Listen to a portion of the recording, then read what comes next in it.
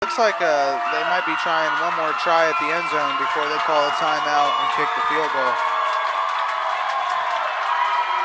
So Sperbeck under center. He has Cubes and Perrietti behind him, and he is going to roll out, but he is chased by the Eagles. He goes to the corner of the end zone, and that is going to be a touchdown for the Jesuit Marauders. 14.4 on the clock, and now we start to hear it from the opposite side of the field. A beautiful run coming in from Sperbeck. Wow. 32 to 26 Marauders. Wow.